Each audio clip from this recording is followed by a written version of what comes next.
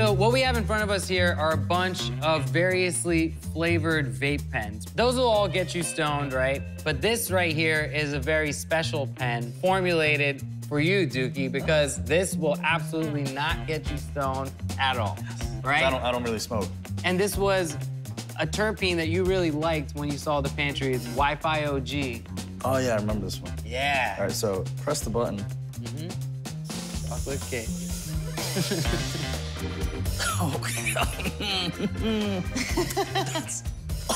okay, I get the smoke element of it too. Yeah, that's yeah. good. That's good. We leave that right there. That's, good. right there. That's, uh, that's good. Stays there. The first and last time Deuki hits a vape pen.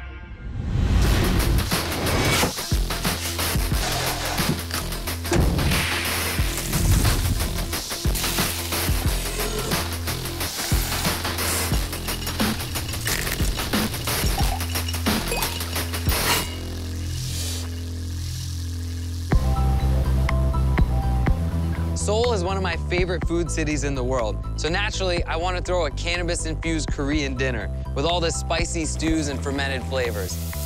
To help me pull this off, I'm enlisting Deuki Hong, a gifted young chef from New York who actually has zero experience with cannabis. So we're gonna give him a crash course in our favorite ingredient. Deuki, I'm super excited for you to be joining us on this culinary cannabis experiment. And as I understand it, you've never cooked with cannabis before, is that right?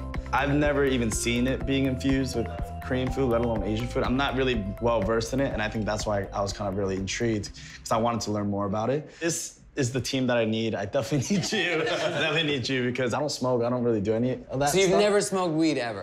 Uh, I have one time. What- how was that? In Denver, where it was legal. Oh, yeah. Yeah. We ended up eating ramen noodles with three of my friends in the parking lot of some Cheetos as our kimchi. But you managed to put together a stone dinner in the parking lot. of- Yeah, it's like, it was very gourmet. Yeah, yeah. That- that's Like, we gotta eat something. What are you thinking about for the menu? I think one of the main dishes that I want to do is spicy army stew. Uh, it's called budae jjigae in Korea. If Korea had to have a stoner dish, this would be it. There's spam sausages, and then there's old fermented kimchi, onions, ramen noodles, American cheese. All these ingredients that aren't necessarily should be together in one pot is in one pot and it's actually really delicious. Korea and America have this like cultural, it goes back when kind of the GIs were there and they've had their stuff, so they had spam and all of these like hand uh, products. So that came into a very traditional Korean dish like a kimchi stew and then it made its own dish. So the budae jjigae or the spicy army stew has this like cultural significance in Korea too. Yeah, and it's one of my favorite Korean oh, dishes. I absolutely love the hot pots. But what are you guys thinking for the preparation, the infusion? You can melt something like distillate into it, but we've been trying to kind of use use flower as much as possible, just because that's what most people at home have. Yeah. With this musubi, people want to eat a lot of it because it's, you know, like a big pot of stew. So maybe we don't activate it. We'll use it as an herb, and you can mm-hmm. smell different things or terpenes and really get um, excited when we put our noses in the jar. Let's put let's put CBD in that too, because it's like a you know mellowing sort of thing, not psychoactive. So I trust you guys. I'll bring the Korean, you guys bring the cannabis element to it. Hopefully the marriage works. think it will. Yeah. I think so. And then just thinking some fried element. Koreans are really avid chicken lovers. Um, so something with chicken. Keef is like a powder. Yeah, you know, yeah. it can be like powdery, so that might be cool to kind of like toss in the fried like chicken, spice and mix, it'll yeah. activate slightly from the, the fat in the fried chicken and the heat from the chicken. So that might be really that. cool. Yeah, let's try it. I know you love a lot of that fermented element, like fermented paste, uh, definitely some kimchi, and some quick pickles also. So we'll play around and we'll have some acidic and fermented elements too, to just fill up the whole table. And so I'm very like free with it. We'll go into the market and we'll just see what, what they got. We've got the main parts of the meal down, and the rest of it we'll do it Korean style. We'll improvise. We'll let the ingredients guide us, right? Yeah. yeah man. I love it. Awesome.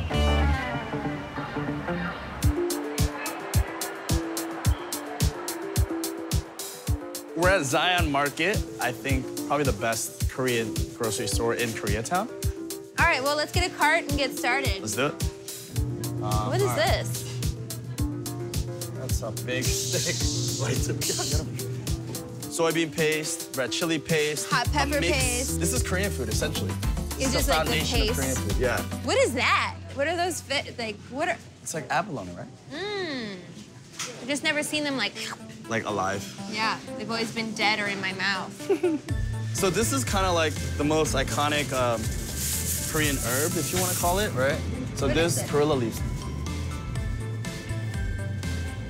Nutty. Let's get some of those because Yeah. those remind me of uh, the cannabis. Three, great.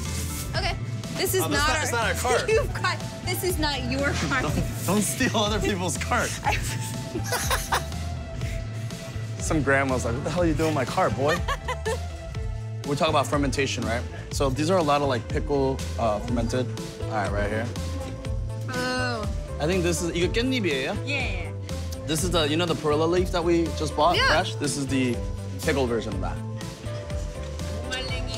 Yeah. Ooh. Right? Really caramelly. All right, tasting's over. Back to my red bean. All right. I'm just gonna come here to get all the snacks. Pocky sticks? You stop right now. That's what we're getting. What's this? That's baby octo. Koreans eat that raw, like live. All right, we're good. Yes. This is so much. This can just go right here. Oh, hello. I promise you we'll eat it all. I'm not worried. Don't be worried, girl.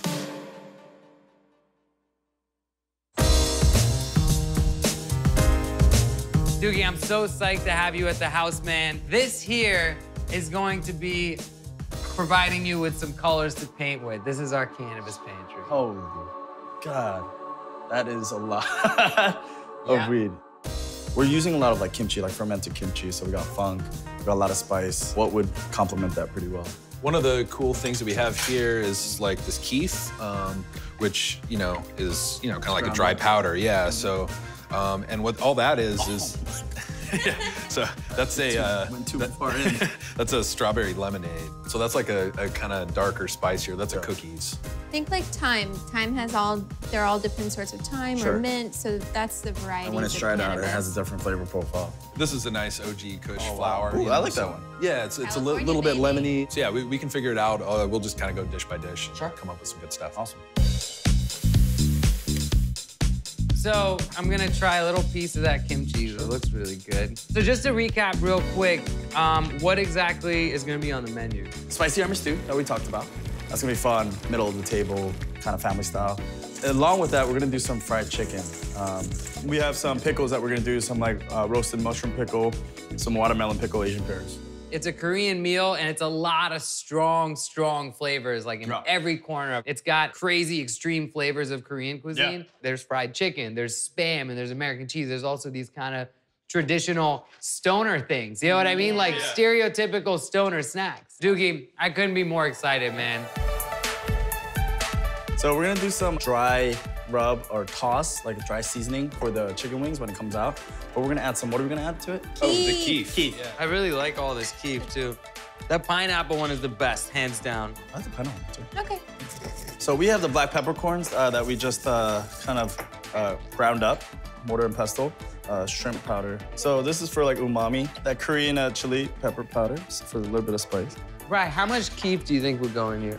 I don't think it's gonna be activated really that much. I, I would just do, you know, like a good pinch, like you would a normal spice, I guess. All right, we're gonna add a little bit of this pineapple keef.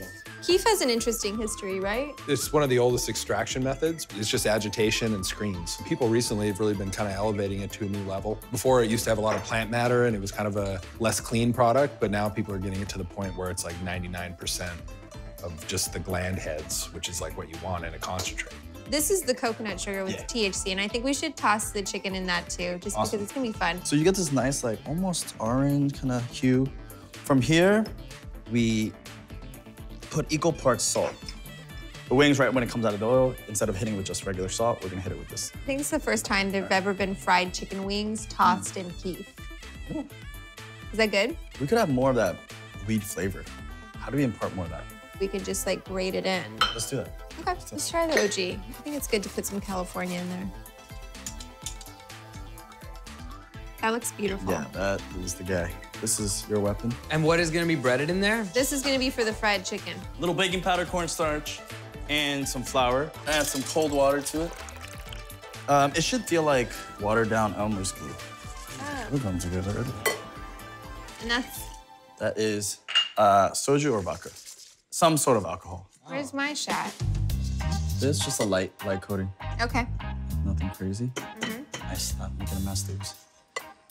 So you see a little bit of that Skin. pink hue, yeah. Okay. From here, Into the fryer. hold it off a little bit. I think we can fry like four at a time. When do you want me to pull them? Uh, it's gonna take like eight to 10 minutes to pop. You got it. So right when they come out, you hit it with it. One second, mommy. One second. One second. You tell me how much. One second, mom. All right, hit me, hit me. No, whoa, whoa, whoa, whoa, whoa. We gotta work in sync. There you go. Yeah, yeah, go for it. I like a lot of spice. Go for it. More, more. Mhm. Yeah, let's do it. That's good. More. Man, you really smell that weed. Fried chicken and sauce. Oh my god. Yes. Awesome. Nailed it. These are the fresh cannabis leaves. Fresh leaves. Oh, what? So I figured we'd fry them. Yeah. We'll do the same uh, preparation as the chicken. A little bit of cornstarch, a little bit of batter. Nothing crazy. Oh, wow, that looks fun. Deep fried pot leaves. That's a crazy thing. Let's do a little tester. Okay, I'll come in on the deck. It smells so good. It's like pretty, like solid. Oh, yeah. We gotta get you stoned, Deuki. Then you'll finally see all these like new dimensions to everything in front of us. You get you have like the most inspiration when you're stoned, apparently. Yeah.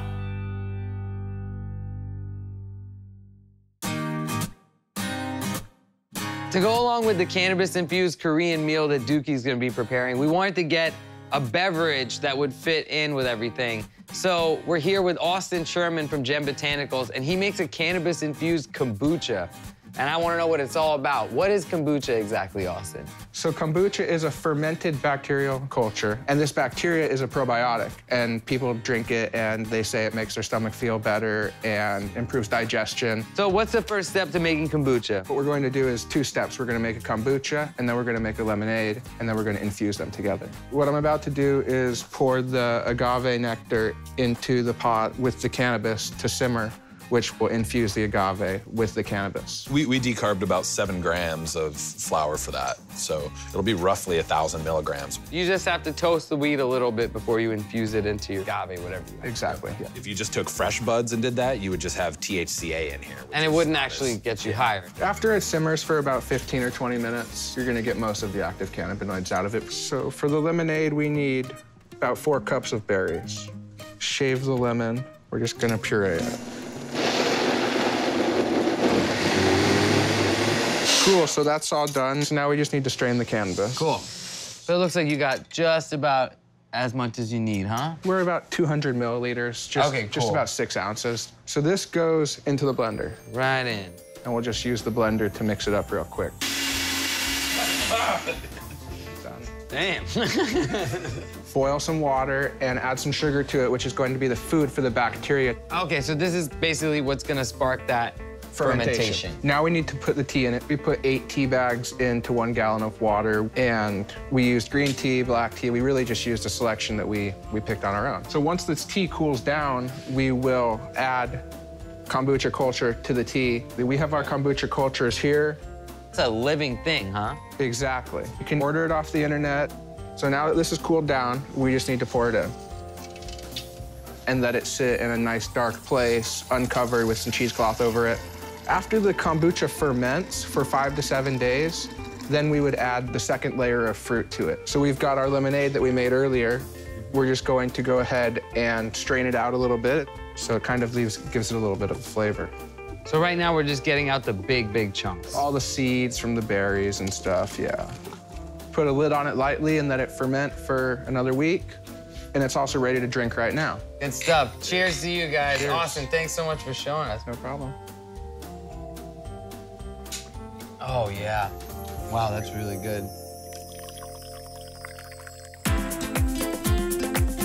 I'm gonna make a quick marinade for the stew to just flavor the stock. Some garlic, a lot of garlic, a Korean chili pepper powder, I think we should have gotten like eight bottles of that stuff. some mirin, and some soy sauce. So that is done. Stew, we're gonna put a lot of American influences on it. I'm gonna start with some bacon.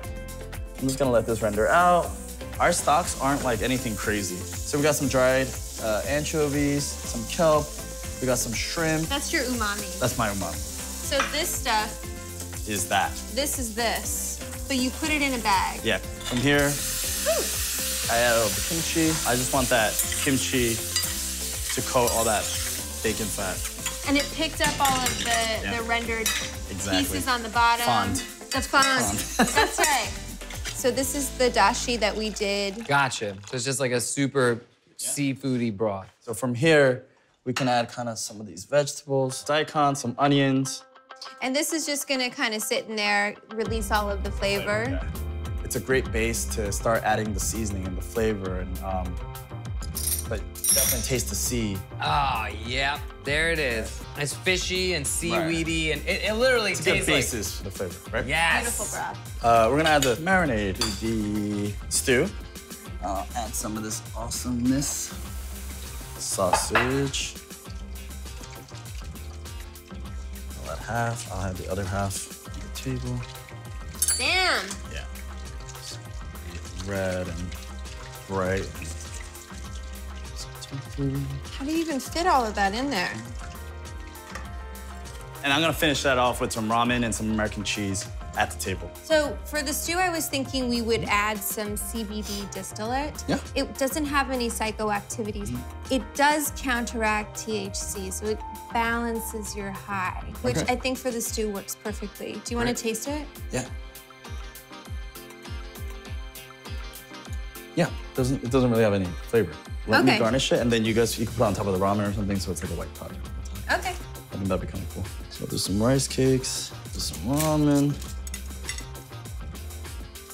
and some scallions, cheese. So fancy. So fancy. Pretty white. Is that a lot? No, No, that's good. there is no a lot. There's no lot.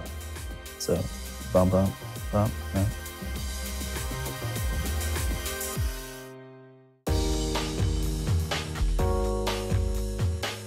So this is the first infused Asian meal that we've had. I grew up in Southeast Asia, and a lot of this food, a lot of these flavors are really close to my heart. Tonight, my dinner guests are Eddie, who manages K-pop artists, Victoire, a Parisian food critic, Crystal, who recruits chefs here in LA, April, a fashion designer, and Deuki's close friend, Daniel. Today was a really weird experience. I didn't know anything going in. My crash course on like cannabis cooking was just yesterday with the help of Vanessa and Ryan and you. This is what came about. Right on the stove top, it's like a boiling army stew. It's called budae jjigae in Korean, spicy army stew. Um, a lot of American influences because it's, it's like a GI influenced dish. You got traditional Korean ingredients like old kimchi, green onions, and like a dashi stock. But then you have spam, sausage, American cheese. Yeah, so it's a very American Korean dish. This dish we wanted to do a CBD stew so people could kind of like sit down and get happy with it because it's going to mellow you out and balance the THC in the other dishes. White stuff is just little CBD, which is uh, not like a psychoactive. It's non-psychoactive. All right, you learned something. Yeah, There you I, I looked it up before I came here as CBD. um, a lot of this food is pretty, um, I don't want to say heavy, but it's, it's pretty rich. So the side dishes, I want a lot of acid and some kick and vinegar. Um, this right here is a persimmon quick kimchi, uh, along with a watermelon quick kimchi. So super refreshing, but you get that spice and funk for the kimchi. This right here is a roasted mushroom pickle. So you get that bitterness and that umami from the mushrooms, but it's pickled. Thank you. So good. Persimmon? For the persimmon and the watermelon kimchi, we put some coconut THC sugar. It's very mild, but if you want to kind of snack on those, you will get high. Next, we have a kimchi fried rice. We got bacon, caramelized onions, roasted kimchi, and a compound butter that we infused cannabis. Live or- resin. Live resin, yeah. I'm not gonna get it in one day. Um, yeah, so live resin and that, and we also added some of that coconut THC sugar in the when we were roasting the kimchi. Our centerpiece, fried chicken. I love fried chicken, and I love doing our version of it. Vanessa had the idea to do like a dry rub instead of like a traditional soy garlic uh, Korean fried chicken. The rub is Korean influences. You got brown garlic, dried shrimp, Korean chili pepper powder, but we also added layers and layers Like of three cannabis. levels. Yeah. So there's the coconut THC sugar, there's the keef, pineapple keef, and then the last thing that we did was to grate OG Kush flower, which I have, and if you want to add some more, I'm happy to grate more. like for you. Parmesan cheese. But everything's been really mild. We'll be the judge of that. I know, yeah.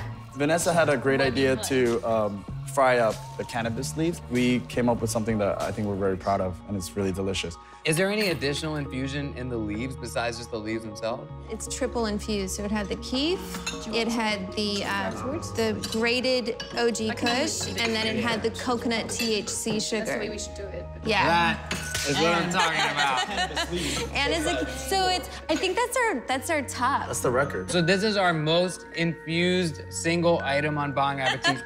You It tastes yet? good. Oh my god, I ate so many in the kitchen. We were definitely snacking in the kitchen. I feel it. It feels good. Enjoy the food, guys. Thank you so much, and uh, bon appetit. Thank you. Thanks, Deuki. That's like the best fried chicken I've ever had, I'm pretty sure. Just like the ratio of skin to meat is just like perfect. Love it. So there's actually like American cheese mounted into this. Did you guys taste it?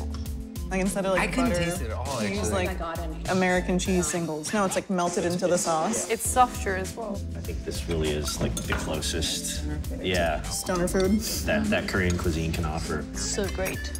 Oh man, these mushrooms are ridiculous. I definitely tasted it in the watermelon. Yeah? Mm-hmm. You almost like forget, and we're just having like a lovely time, and you guys are also lovely, and the food is so good. It's all And then every every 10 minutes when I shut the up, it's like, oh, you're stoned. Shut up. All right. Alrighty, here we go. This is dessert. These are like my childhood snacks, so I just wanted to share that with you guys. In addition to Deuki's favorite childhood desserts and these really, really tasty vape pens, we've also got some infused kombucha to finish this off and top off a completely Korean experience. Deuki, you represent a type of person who's going to use cannabis as an ingredient and really push it to the next level, despite the fact that you personally are, are not into the psychoactive effects of this thing. Yet you recognize its versatility Absolutely, as an yeah. ingredient. You know what I mean? And that I really commend you for. I think in many ways, this has been the best Bong Appetit dinner we've had. Oh. I feel like I feel like I. I know you're gonna shut me up with this, right? but it is really special, Deuki, and I just want to say thank you so oh, much Oh, thank you. for your talent, for your creativity, and for lending it to us. And thank each and every one of you for coming through and sharing in this amazing experience with us. Thank you so much. Cheers, guys. Bong Appetit! I'm stoned.